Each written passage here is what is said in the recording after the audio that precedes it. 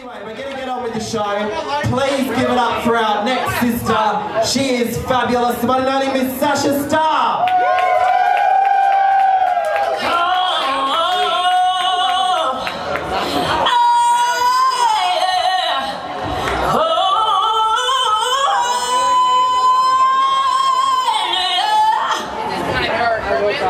I need